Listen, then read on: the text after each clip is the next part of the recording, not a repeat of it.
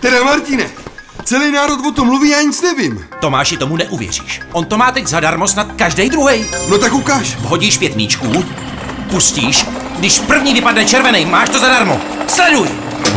Hele, málem! Pust mě! Beru tam tu sekačku. A jdu na ostro.